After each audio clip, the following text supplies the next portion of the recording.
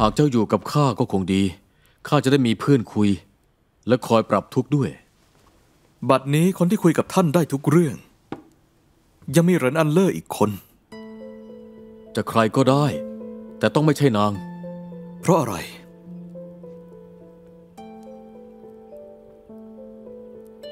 เพราะนางไม่เข้าใจเรื่องสิบปีก่อนนะสิ แต่นางเป็นคนไหวพริบดี อ่านคนออกนี่หรือจะไม่เข้าใจ องค์ชายตั้งหากเล่า ยิ่งทำเข้มแข็ง คนอื่นยิ่งมองว่าอ่อนแอ ข้าเปล่าทท่านทำลู่หมิงซีข้าก็แค่ชื่นชมนิสัยกับความฉลาดของนาง เจ้าก็เหมือนกันนี่ำที่แท้วันนี้องค์ชายมาพบกระหม่อม เพื่อถามเรื่องที่กระหม่อมรายงานฝ่าบาทสินะ ข้าแค่กำลังคิดว่า ใจเจ้าก็ใส่ใจนางไม่แพ้กันคำว่าก็เนี่ย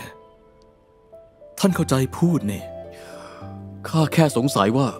เรื่องการเมืองจะไม่ฝักใฝ่ฝ่ายใดเป็นกลาง อยู่อย่างอิสระ แล้วไปสนิทกับนางตั้งแต่เมื่อไหร่ กระหม่อมเคยบอกท่านแล้วว่า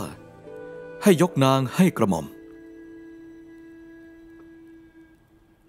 จะหมายถึงให้กรมอาญาเหรอ เพราะกระหม่อมเองก็ไร้คู่ครอง